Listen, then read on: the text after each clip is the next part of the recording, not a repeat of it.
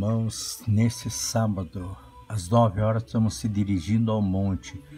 Se você quiser ir conosco, estejam ali na 12 igreja, às nove da noite, às 21 horas, neste sábado, estaremos indo para o monte e você vai estar ali intercedendo no monte pela sua família, pelo seu lar, pela sua vida, em nome de Jesus.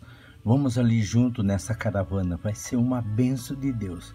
Eu creio, eu creio no poder de Deus, o que Deus vai fazer é grande em nossas vidas. Amém?